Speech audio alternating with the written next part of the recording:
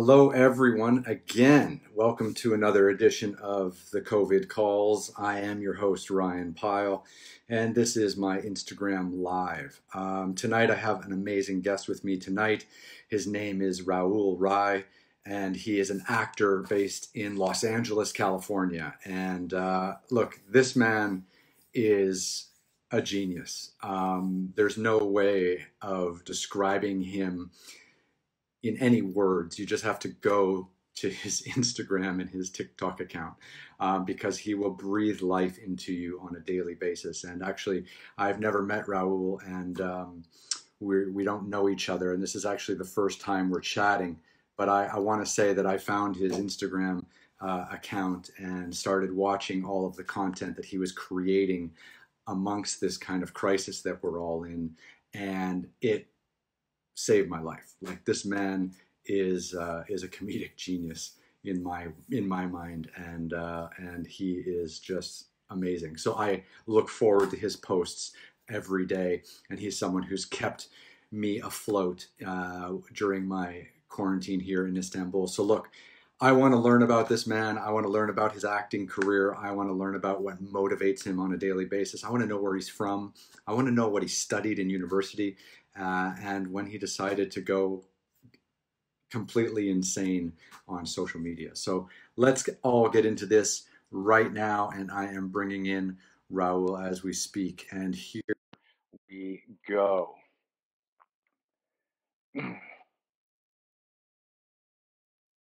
All right, Rahul, how you doing, buddy? Good. How are you? I'm very well. I'm very well. Thank you so much for making time for me today. Oh no, thank you for having me. Yeah, because uh, look, I mean, I I feel like I should be thanking you for putting such hilarity into the universe because uh, you are, you're putting out some, you. you're putting out some great karma. Thank you, thank you. I appreciate it. I, I was listening to the intro, so that was very that was very touching. No appreciate worries. It. No worries. So look, um, I'm not going to try to describe who you are or what you do because anyone who wants to know needs needs to just go to your Instagram and your TikTok yeah. account, which is the real Rahul Rai. Yes. Okay, great. And I've pronounced that correctly. Yeah. Okay. So so you're an actor and yeah. but but you've also been quarantined like everyone else and self quarantining and stuck indoors and you have basically just been creating content and mimicking content and yes. just being as creative as possible during the lockdown. Yeah, it's not good for me to not do anything. Like, it's not good for me to be idle. It's yes. just not good because I have a lot of uh, natural energy. Like, even as a kid, I had a lot of energy.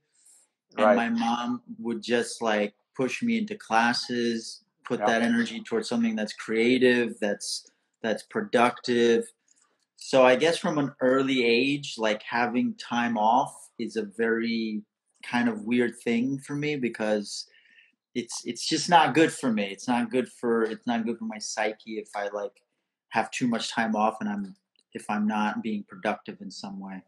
Okay, so good to know. So let's take it back a little bit because it, it's not worth kind of talking about what you're doing now because there are no words to describe it where, where, you know, it's so funny. You me a comedic genius, and my brother always thought he was the funny, the, the funny one in the family. Oh, okay, and so I hope he's not watching this and thinking, "Where did this title come from?" Because this kid is not funny. No, is he? All. Is he older or younger? He's older. I, am the youngest actually, so I have an older brother and an older sister. So okay. my brother, my my sister is like the super ambitious one, super yep. smart, very smart, very athletic. My brother is the funny guy. Yeah. Okay. And I'm like this this happy accident that wasn't supposed to be here, but now I'm here and it's like, okay, let's just deal with this. And as the youngest sibling, you had to fight for attention. And you had well, to create and you had to create an yeah, audience for yourself. Here's the thing that's so interesting because there's quite a big age gap between myself and my siblings. Mm-hmm. So when I was growing up, uh, they were like in high school going to college, and I was I was the you know So I was the only one with my with my parents. So I I got a lot of attention. Oh, okay, so you're like an only uh, child almost. Yeah, in yeah. a way. So I think that's what creates this weirdness. the only the the, the quasi semi chi- uh, only child. Okay, that's interesting. So so where so where were you born? Are you were you born in the United States? I was. I was born in New York.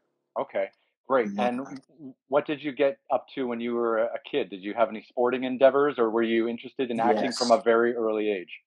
So acting didn't start until like 18 probably, but as a kid, again, my mom would put me in a lot of classes. So martial arts, tennis, swimming, soccer. She basically put me in everything and saw kind of see what like would stick.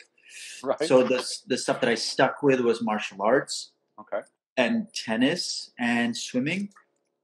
And then eventually when I was 13 ish, I discovered dance. So from 13 onwards, uh, dance became a big part of my life. Okay, that's amazing. And and I also recognize that you've done some theater as well. When did that when did that kick in? Yeah, so acting started for me at 18. So I probably started doing theater like after graduating college. That's when I started pursuing acting uh, full on and, okay. and full time and going aggressively, ambitiously into it. So from there, just doing anything I could get plays, uh, short films, student films, commercials, whatever it was, I, I would do. Okay.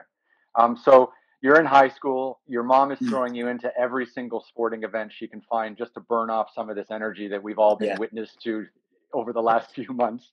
Yes. And and uh, and how successful was she? Were you? I would into- say I would say a lot of the skills that I now leverage into my TikToks or social media or even acting. Like I'm a very physical person, and I think that happens because like of all those classes. And my mom like day in day out or week in week out taking me because I like I think as a kid like I can't take myself to classes, so the consistency kind of falls on the on the responsibility on the shoulders of parents to like right. take their kids to the class and if the parents don't show up then the kids don't show up because the kids have no other way of getting class mm.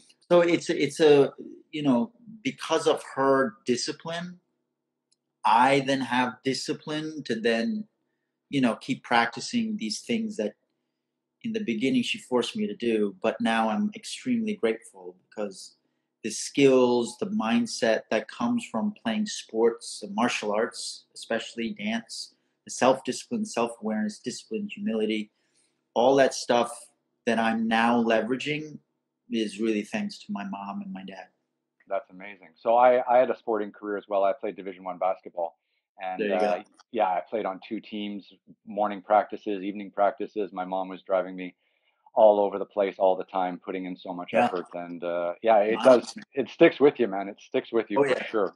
Yeah, it has residual compound effects that that you know either you're aware of them or you're not, but it's there. Okay, so um, you graduate university, you're doing a lot of sports. Did you perceive, like, did you pursue a sporting uh, career in university or did you just no, let it go? No, I mean, uh, yeah, uh, sports always for me was like secondary. Like, I played tennis aggressively. Um, I played on bar, uh, I was like the captain of my varsity team in high school, but I never had the ambition to pursue it in college. Um, I was like, I was going to go to NYU and uh, pursue dentistry. Okay. okay. But I know it's weird. Uh, but uh, but I did a film when I was 18. I got cast in a film which happened through dance because um, I got discovered, I suppose, and um, and so that kind of changed things for me a lot. So I ended up going to Pace University to join the acting program after doing this film. Joined the acting program, didn't really like fit in, I felt, and uh, I actually found a great teacher outside of school. So basically, what I did, I went to Pace University to study acting, dropped out of acting, studied economics. Yep. So I graduated with an economics degree, which is very useful. very. And uh, I studied acting privately with a coach those three and a half years, basically. And then after that, just pursued acting. The, the goal after I did that film, the goal was to be pursue acting full on. And how soul destroying was it to study economics in university? It was my choice. So I, I actually loved it because economics, okay. Pace has a great economics program and a lot of passionate teachers.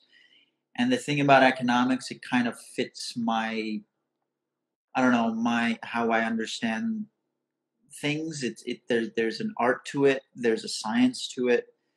And uh, it's a very people oriented, like you have to become a great observer if you want to be a great economist. I think you have to listen and observe to people and the world around you. And even though it's the way you're receiving that listening is through the through charts or graphs and numbers, there's there's there's a language to it that's very interesting and and and it's also made me more worldly.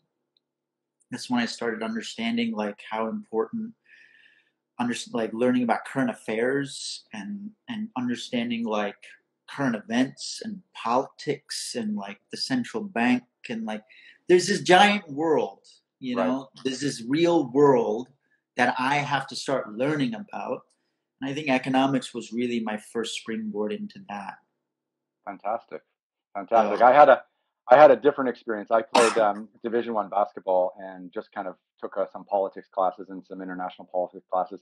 But I was so focused on basketball that I had no other interests yeah. when I was at because I was too tired. Like I was training like yeah. four or five hours a day, and then yeah. when I didn't get to go pro because uh, I wasn't good enough, I went to China and just started traveling the world. Oh. And now, before COVID, I was traveling 300 days a year, making film and television all around the world. Whoa, that's amazing. Yeah, I live in Dubai, um, and I use okay. that as my hub for traveling. But uh, you might not know this. So I was actually in Ethiopia, trekking yeah. in the Simien Mountains wow. next to the border of South Sudan, and we'd been offline for three days. We got to the top of this high pass, about uh, 4,000 meters, about 15, 16,000 feet. Got up, turned on our phones for the first time, and like the whole world had closed. Like the USA yeah. oh, wow. closing flights, and then uh, the UAE, where I live in Dubai, uh, closed their borders, and I couldn't get home. And one of the only places that was open to me uh, was to come to Istanbul, Turkey, which is where I am now, and I've been here eight weeks. Jesus. so I started these COVID calls on my Instagram live uh, to basically yeah. cheer myself up every day because yeah, I'm not I'm not half as talented as you are, uh, but I want to be able to chat with talented and creative people and get to learn something about them. Yeah. Do you do like podcasts and stuff? Yeah, I do podcasts. Um, Amazing. Um, but uh, these calls, I do like two of them a day, sometimes three. Uh, people are writing me asking to be on, uh, but it just it gives me like some connection because I'm in a town where I don't know anyone. I mean, it's yeah. a city. It's a city of 18 million, but I don't have any friends here. I don't yeah, have any. Yeah. I just found this uh, stray kitten uh, that was nice. near dead, and I've been nursing him back to health, and he's about six weeks old now, and uh, he's my only companion. There you go. There you go, I mean, man. It's it's one of those things you just got to make the best of whatever situation you're in. Yeah. Wherever you are. I'm I'm, I'm guessing Istanbul is like under lockdown or yeah, like, pretty much. Yeah. Pretty much. Monday to Friday, it's pretty open. Uh, we've got grocery stores open. We've got pharmacies open. And then actually on the weekends, they fully lock down. So oh. uh, we're getting ready for a, a four day lockdown. They're going to go Saturday, Sunday, Monday, Tuesday this week. Um, so I got to get all my groceries and, and my uh, whiskey. Yeah. I'm a single malt whiskey guy, so I got to get my whiskey. Oh, nice. Do you, do you, you drink it straight up then? Straight up, no ice, no mix, no nothing. Scott Scottish single malt whiskey from You're the Highlands. I'm a man. You should I'm see. Not, I can't handle that. No, on my Instagram uh, last week, I did uh, I did a whiskey. I do a whiskey Wednesday every Wednesday, and I drink a whiskey and I toast my audience. And I did it last week with my baby kitten on my shoulder. All right. So listen, as long as the stores are open. exactly. Okay, I want to get back to you though. So you graduate Pace University with a bachelor's degree in economics. You now have some general understanding of the world, and then you decide though that you want to be a full-time professional actor. So yeah. what does that look like? Like what are the steps that someone takes to yeah. move to move into being a professional actor? Yeah, that's an interesting question. I think um, Because I First of all, I would like to say that I had a lot of support from my parents. So that helped a lot. In fact, like they encouraged me a lot in high school to do plays because, and they encouraged me to pursue acting. I just was too afraid.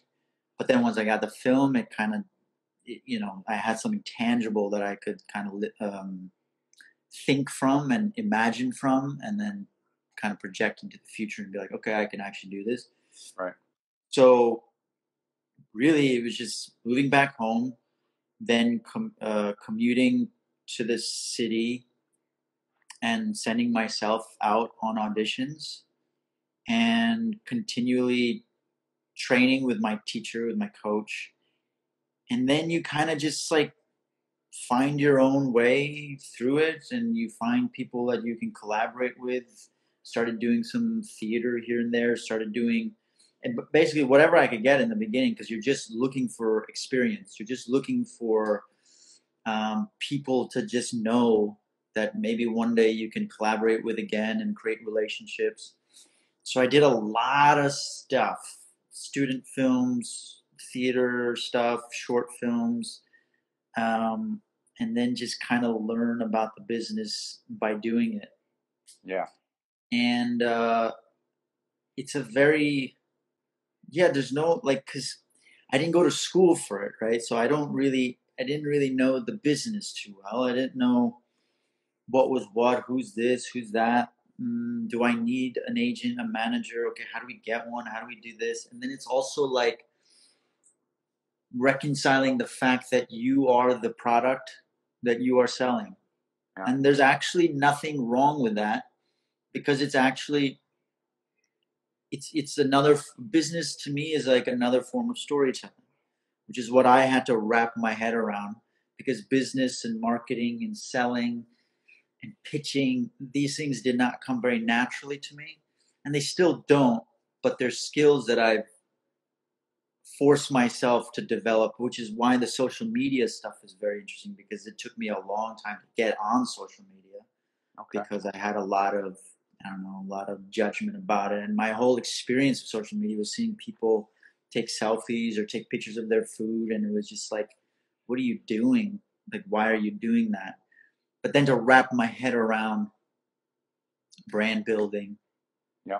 and basically putting yourself out there to then create your own form of leverage, to then create your own audience, to then create your own stream of attention to then create your own value to then sell to whomever wants to buy it, whether it's right. a big time producer or it's just your audience that wants yeah. to keep watching you.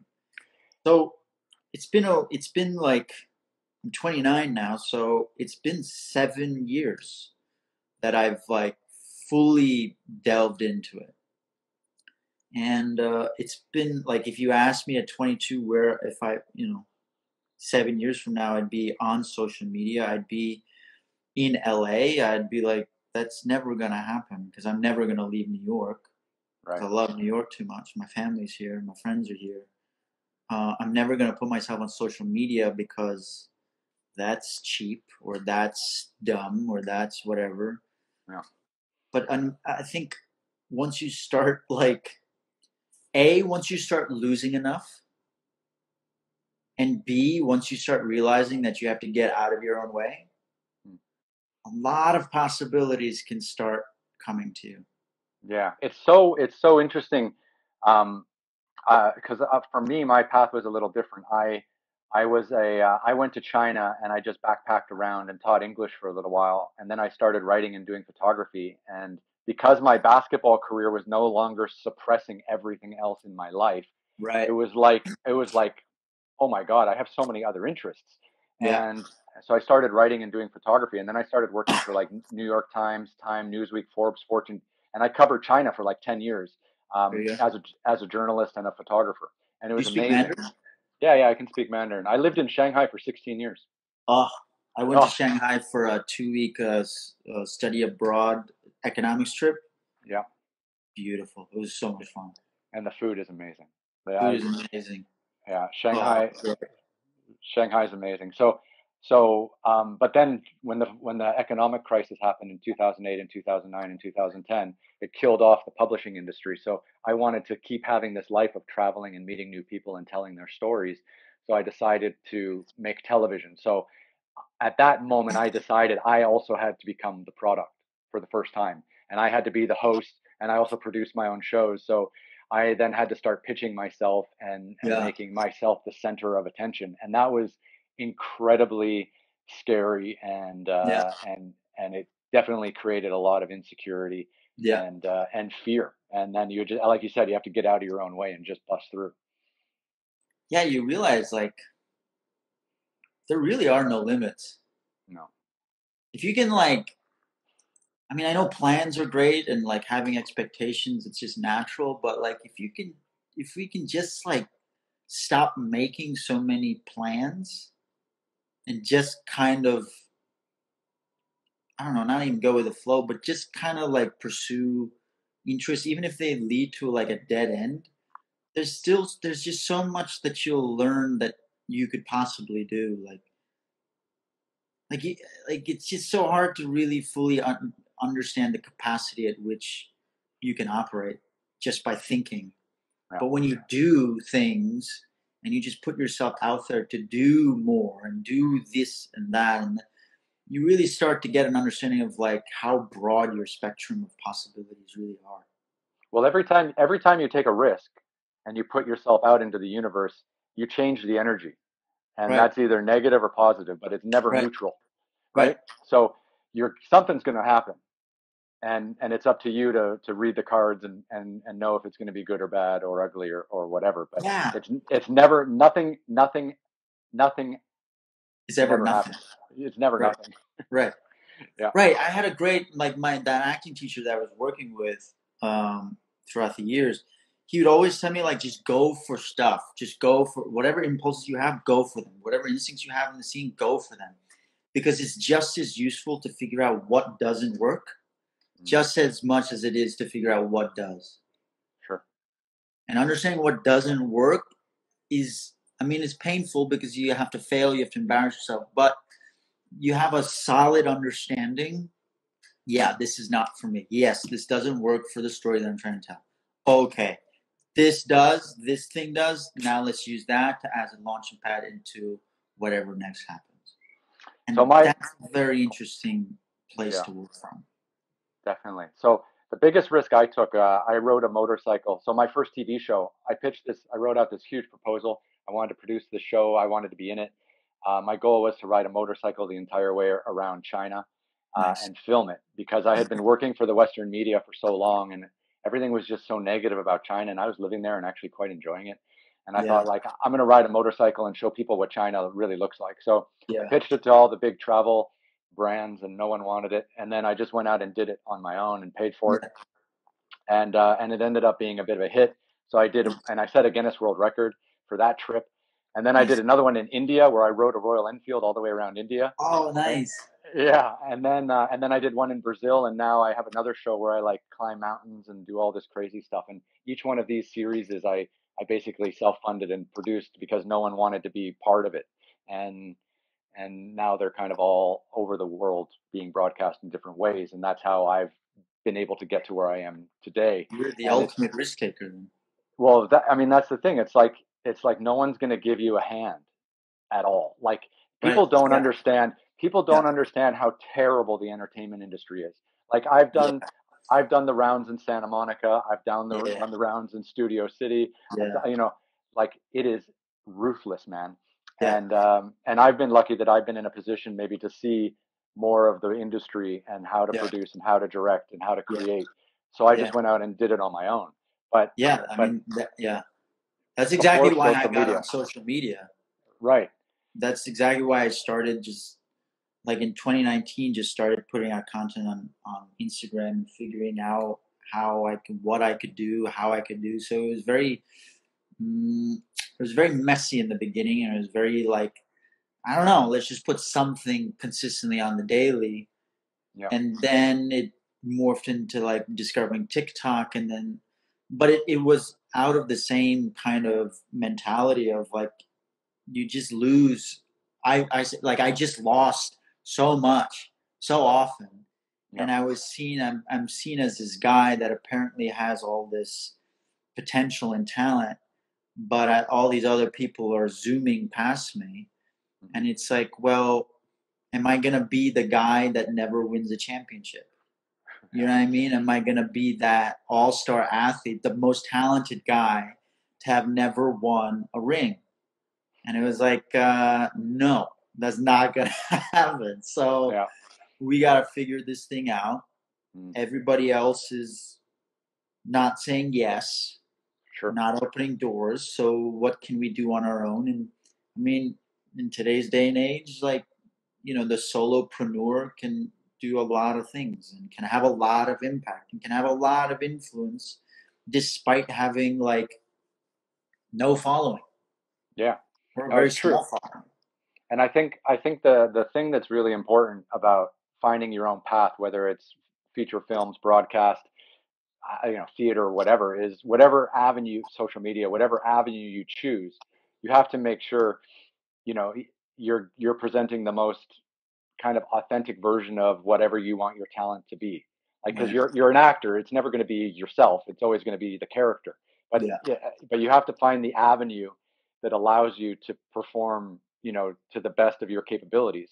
Yeah. And and nowadays there's so many different avenues. Like for me, it was just kind of television because I felt so many people were so inauthentic on TV, and yeah. so much of television was was scripted and you know false drama and conflict based and i just wanted to go out and make people happy and show people the world um, you know through a through a generally happy go lucky perspective.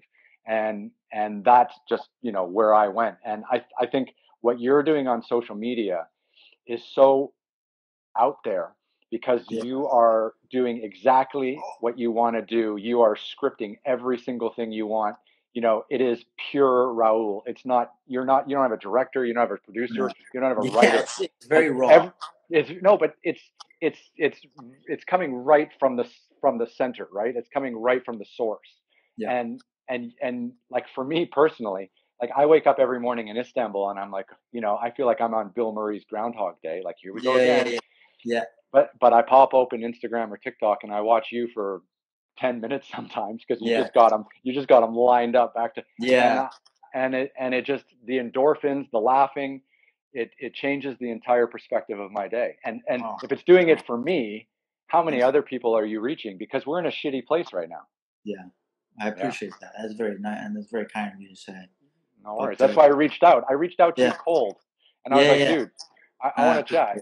i appreciate it but you. you know i guess it's stuff like that that uh yeah, it, it's very motivating. I, I, will say, like, it's hard to get back to everybody that DMs me, comments me, says this and that, messages me, but I see it all, and I, uh, you know, I I think the best the best way that I can ever like, I don't know, show appreciation to other people showing appreciation to me mm-hmm. is to just not stop yeah. Like there's no there's no rest. There's no day off. There's no like if I'm not physically working, then mentally I'm working. Or there's always uh, there's always more. There's always like it's just I there's no I don't know, like if you're gonna spend time consuming my content and then eventually maybe one day pay hard earned money to watch me on stage or uh, on a screen or pay a subscription fee to Netflix to consume a Netflix show that I'm in, whatever. It is my it's it's my obligation to like put my best foot forward. Oh yeah, agreed. Yeah, your audience there's, is everything. There's no, so that requires an immense amount of commitment, uh, discipline, self awareness but it's to something that I care about. So it comes kind of naturally. It's like, you know, it's just the obsession comes naturally because I'm obsessed about it. You know yeah. what I mean? It's not, I don't have to force myself to do it because it's what I'm choosing to do. Nobody pushed me to do it. And you, and that makes it the best job in the world. Yeah. And it's not a yeah. job when you wake up every day and you get to be creative. Exactly. And it's yeah. it's not like always sunshine and rainbows but i think it's it's important to like again this is why i think discipline always wins out. It, what i'm learning now is that even if i'm tired i can still make content. Right. If i'm hungover i can still make content. If i'm sad i can still make content. If i'm a- anxious frustrated whatever it is that i'm feeling I can still make content. So I don't need to feel what I think I need to feel in order to make content. And I think that's the important thing about being disciplined is you realize that your feelings don't need to align with your understanding of what your responsibilities are. Yeah. I think that's beautiful, buddy. I got it. Okay. Let's ta- let's take this back a little bit. Yeah. You're you're a young actor and you're doing you're trying to make as much stuff as you can. You're trying to make as many risks as you can did you ever lean towards comedy? Like when did you become so fucking funny? Like, you know, That's like funny you say that because because because you know, like were you doing dramatic plays? Were you doing, you know, serious work or were you trying to get into comedy right away? Um no, it's like weird uh, because I'm not like in person I'm not really that funny, but uh, for, for, like like I'm not the guy with the jokes in like mm. my friend circle. I have other friends that are that can make people laugh when we're all together. Like my brother, same thing. My brother is like the very funny uh, person in our family. I'm not, but what I but for the sake of my work, I'm willing to figure it out. So I, you know, it's yeah, it, it's hard for me to describe because the work that I like to do or that I lean into a lot is this stuff like like you see on The Office, which is very offbeat, funny, but it's also mm-hmm. very dramatic at the same time, and it has a lot of heart. Right. And I I think what it really comes down to, and this is what I've I think learned over the years by training as an actor, is and what we've been talking about authenticity it's it's about embracing you yourself. And so i'm a bit of a weird character. I'm just a weird guy. Like the way my mind works the way i uh, express it or the, the things i say the things i think about um, i talk to myself a lot. Like being that only child kind of a thing it made for a lot of time to just play pretend. Mm and I think now I just play pretend more intensely, more seriously. Sometimes it's funny. I mean, it makes me laugh, so I think that's a, the metric that I use. But it's, uh, you know, I, I, it's hard. It's weird for me to call myself a comedian because I don't. I, I'm just an actor. And to okay. me, the best actors are the ones that are most flexible that yep. have the most they can do just about anything so like people like i mean robin williams jim carrey uh, i think people like johnny depp robert downey jr i think there's always a there's a comedic element but they know how to um, they know how to Get do there. both they, they, they, they go to get drama and comedy go together so there's never really any bifurcation they just know what to turn up what to turn down what to you know what i mean so it's it's a weird thing. I don't understand comedy like a stand-up comedian. Like I can't write jokes or like somebody who does skits um, or somebody who does improv. Mm.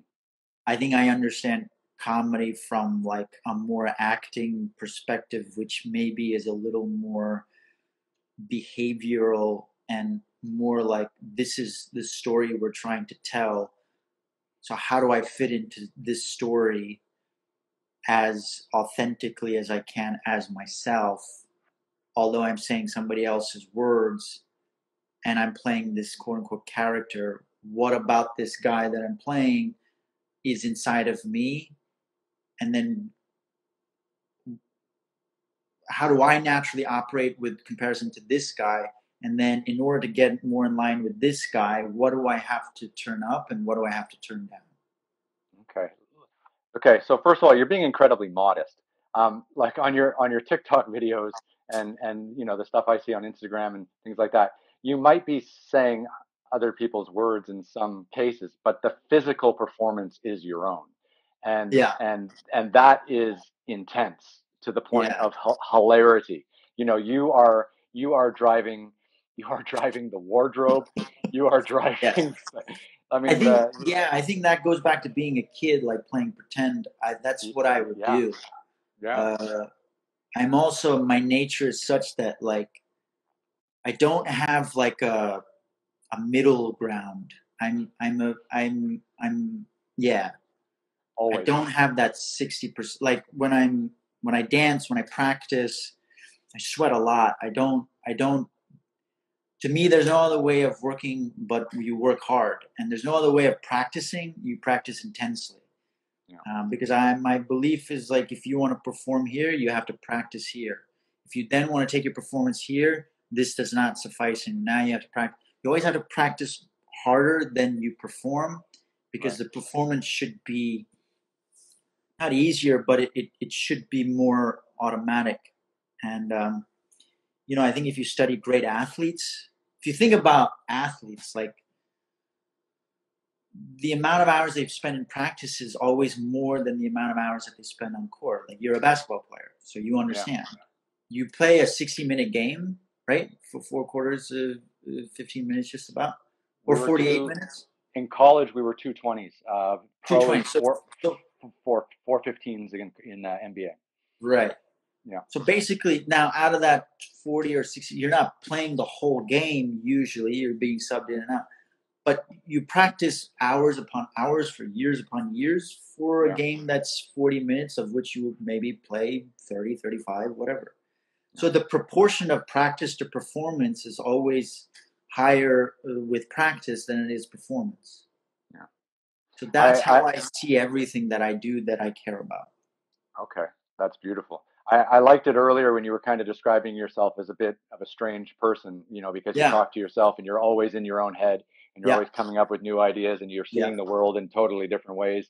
Yeah. And and I think that's the beautiful part of being a creative. I think that's that's our job is to be a little Yeah. bit off and to not necessarily fit in with all of society because Yeah. we we're used to having people watch what we do and judge Yeah. us and that changes the energy around us and sure. the way we think all the time for sure. I think Yeah. like if I were a doctor, I'd see everything. If I was a surgeon, I'd see everything in surgery.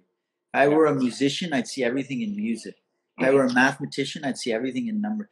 Like, I think when you're completely involved in the thing that you're doing, it uh, it uh, what's the word looking for? It influences how you see the world. Yeah, I agree So and when you really immerse yourself in it Yeah, Yeah. exactly. yeah that's awesome Yeah. buddy um, so so your early roles and your early work that you did after university um, you know you did you did, there was no like comedic element that somehow sparked what you're doing now i'm, I'm trying to find a Yeah. link to, to your early career to the to the Yeah. insanity that you're putting into the world yeah today. i think i think it's there it's there in small bursts the, Yeah. the weirdness and the uniqueness was or the weirdness was always there the strange element the quirky uh, off kilter stuff was always there i've always been seen as a bit of a weirdo it's just a question of my own acceptance and then my own understanding self-awareness and then my own willingness to inject it more and more and more and more and more into the work and not just into the work but how i actually carry myself in the real world Right. And you're doing that now because you have the freedom to, to write your own right day and, and choose Exactly. what to do and what not to do. Yeah. And, and it and it's working and, and you're Yeah. putting great stuff out into the universe. appreciate it So okay, so you were not a social media fan up until late 2019. You Yeah. kind of never really bought into it. You slowly started putting stuff out into the universe. Uh, I'm assuming that at that same time you were still going to castings. You were still working pretty regularly or uh, irregularly, but you were you're you're a professional actor, and that was your job. Yeah.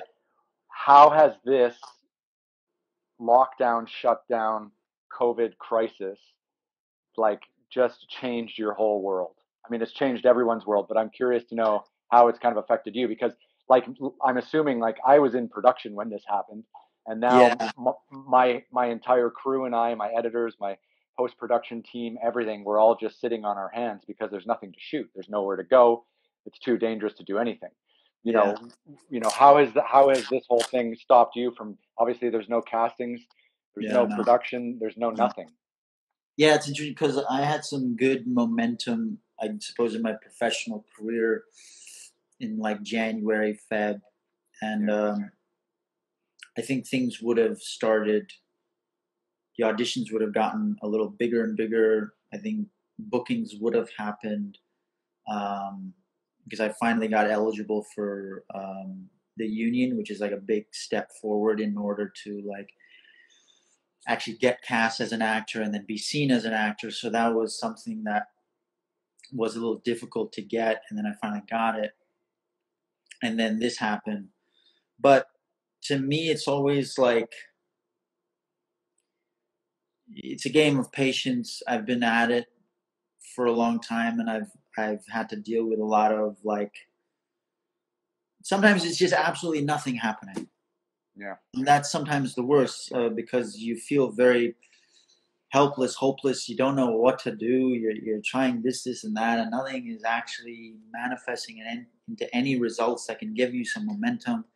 And then when you feel like you have momentum, it just gets squashed, and because you're never really mm, you're never really in control because you're at the uh, you, you're dependent on somebody else to cast you or to you know at least as an actor you are to yeah. call you in to to give you a shot so, in a way, like I suppose the COVID stuff has given me more time to have more ownership over my own content and my own brand and my own story.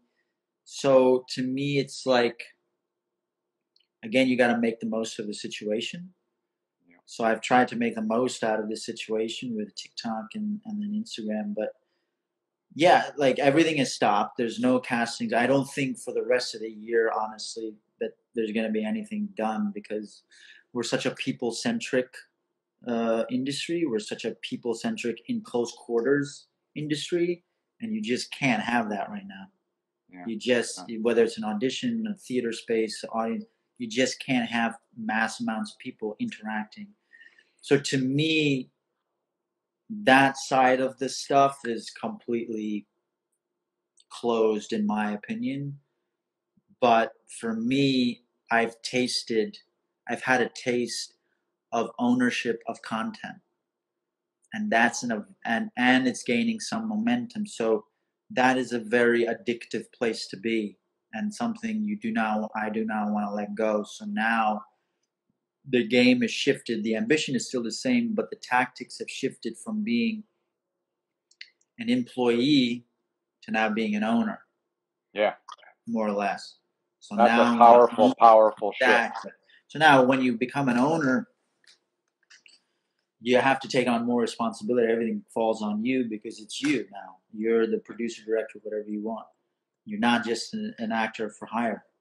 So so all the TikTok stuff and the ownership of content and creating content, uh, it all falls on one person, me. But I'm always working now, and now I can create my own, whatever, my own attention, my own um, content, and and and control my brand. I can control. I don't have to wait for somebody to give me the roles so that I can showcase to you what I can actually do. I can just do it on my own by lip syncing to all this stuff. So now you see my comedic stuff. I can do other stuff so you can see the dramatic work.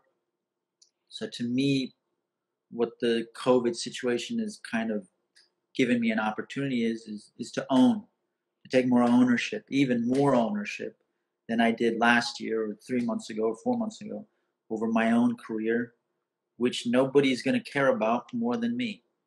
Yeah, that's amazing, buddy. Uh, you did have a dramatic role. I saw you were in uh, on one of your posts. You were doing a couples therapy with a pizza box, and uh, oh, yeah. you, were talk- you were talking about uh, you know who loves who more, and you yeah, were, you yeah, were really, yeah, you, yeah, you were you were get that was that was maybe a less comedic uh, yeah. but you you you seem quite heartfelt with the pizza. Yeah.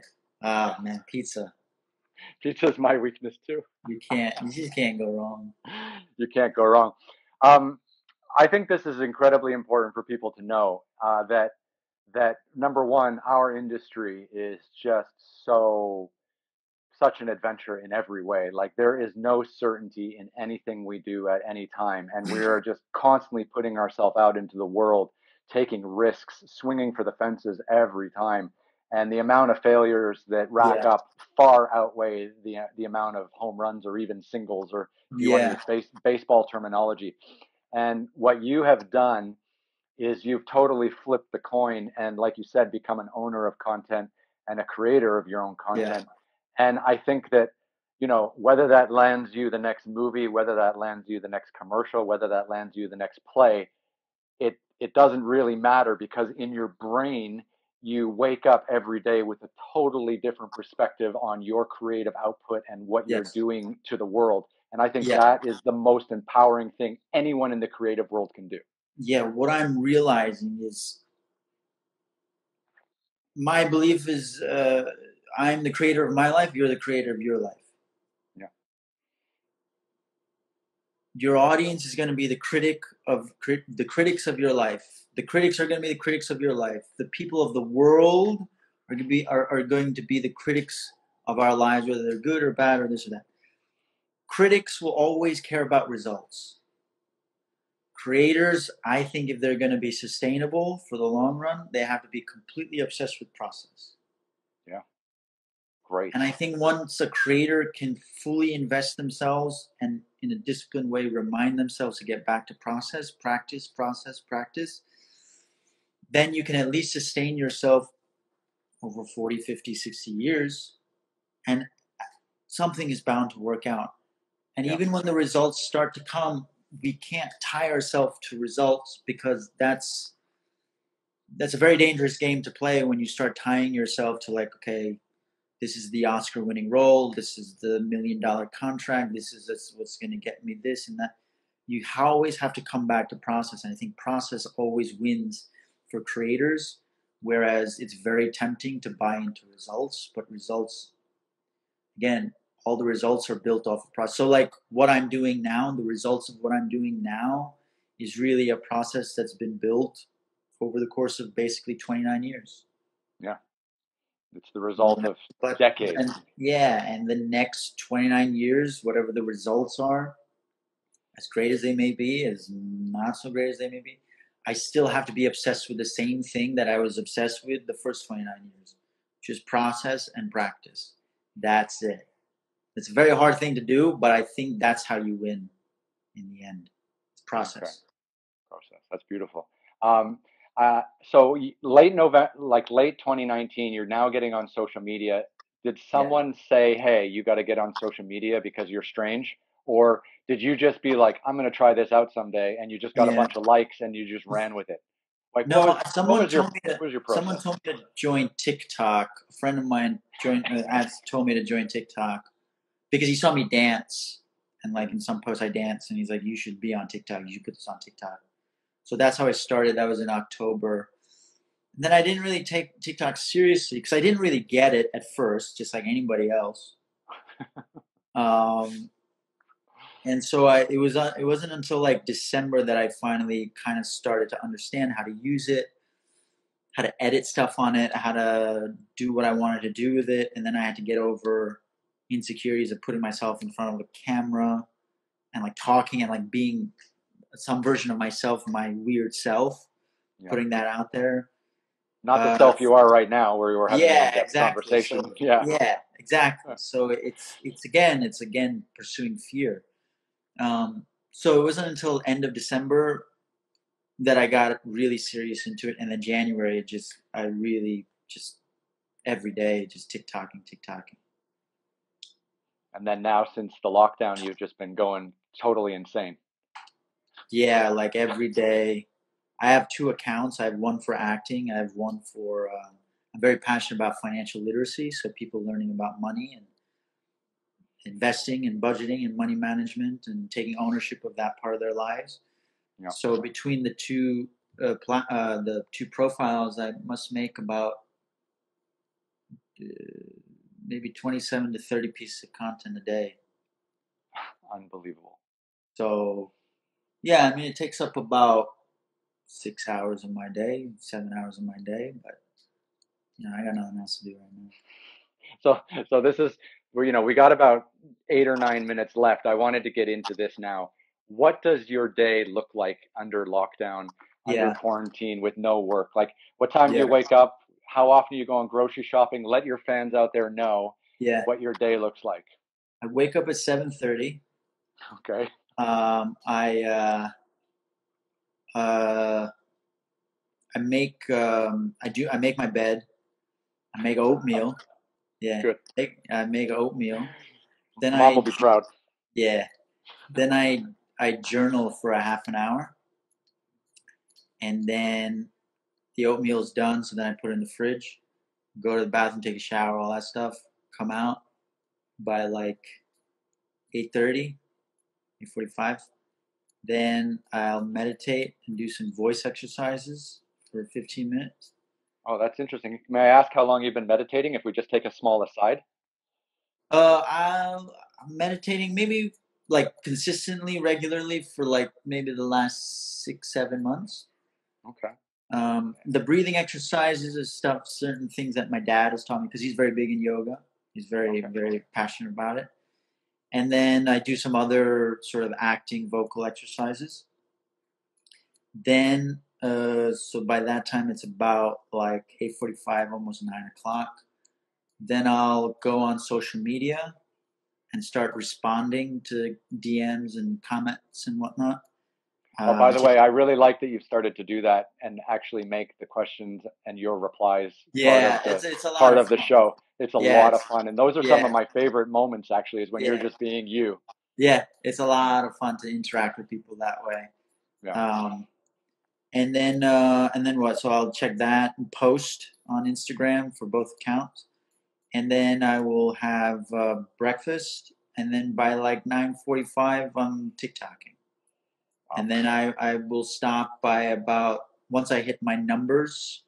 So I have to post like at least 18, 15 to 18 on my acting stuff, about another nine on my um, investment stuff. And then after that, uh, I'll go dance and work out.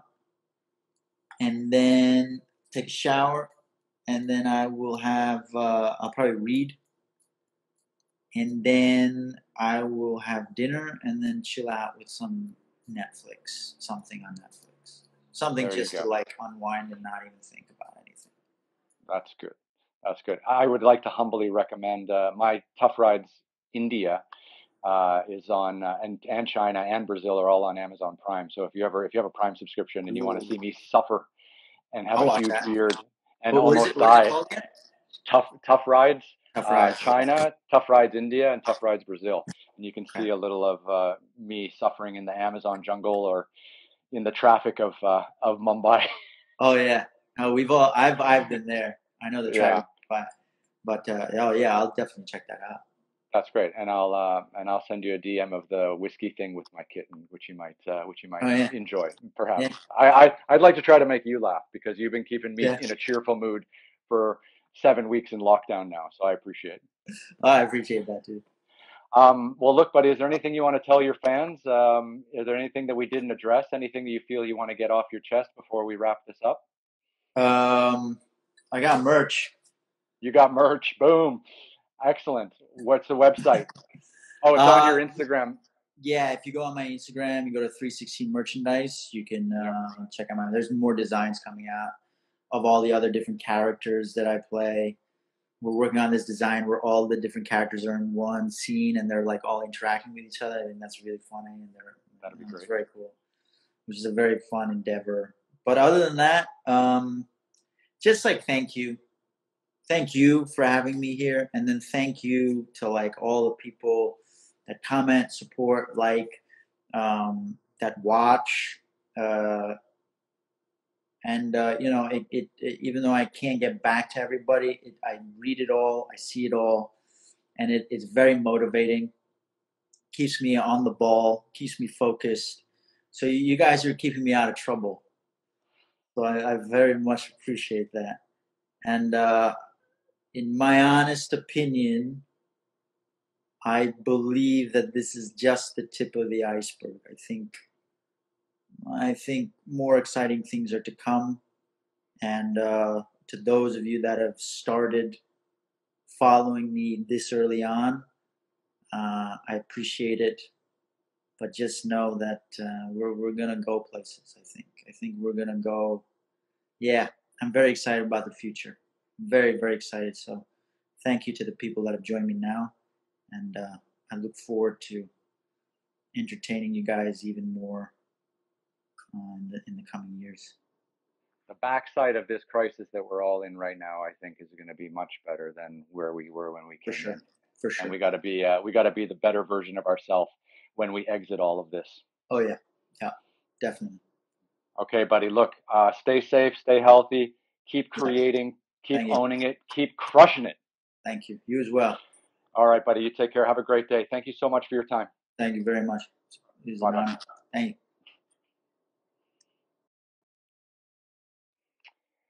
Okay, friends, that was Rahul Rai, and he is just an incredible talent and uh, and really just a humble human being. You know, I did not know how that call was going to go. I did not know uh, him at all. We had never spoken by phone or by video. I just wrote him and said I would love to have an interview with him and learn about his process and what makes him tick for his TikTok. And uh, and he's amazing. Um, you know, getting to speak about his acting, getting him to speak about his his early years as wanting to be an actor, his BA in economics, and and learning about you know the world through economics. Um, it was just beautiful. So I want to thank uh, Rahul, and uh, and hopefully he keeps creating and keeps doing great things. And uh, yeah, and I hope everyone out there stays safe and healthy. And thank you for uh, following another one of my COVID calls.